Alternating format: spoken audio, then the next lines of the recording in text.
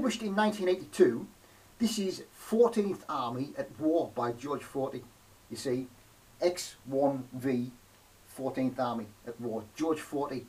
Published 1982. Really good quality. Again, it's moved slightly away from the other two previous books from the 70s in that this type of book now has quite a lot more text than pictures. And for some reason, the series seemed die a death. They didn't do many books in this particular group, but it is well worth getting because it gives you good insight into the Far East campaign. So we'll take a look through the 14th Army at War by George Forty. Again, it's a second-hand book.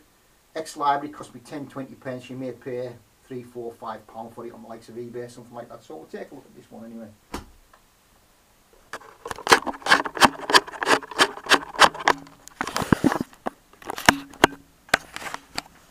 So, 14th Army at War by George Forty.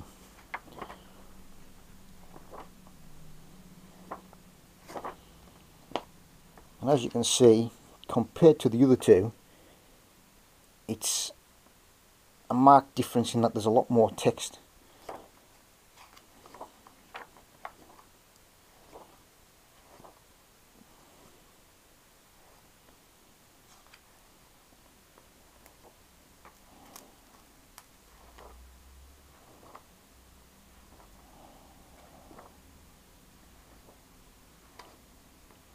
I mean, it's blatantly obvious that there is considerably more text in this one than in the other two previous books.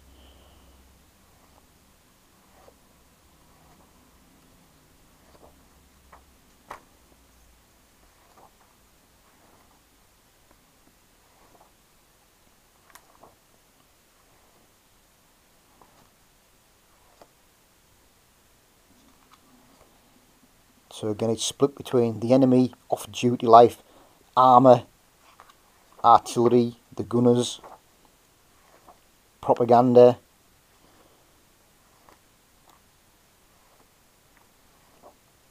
transport and supply. So it's a similar format, medics, counter-offensives,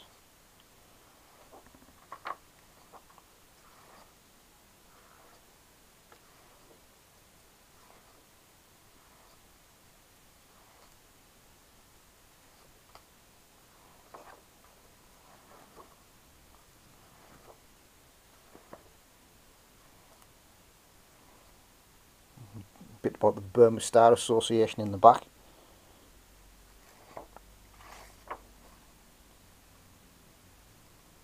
Yeah, so really good book. And that's a book that I don't have. Fifth Army at War. That's one that I never got. But yeah, 14th Army at War by George Forty.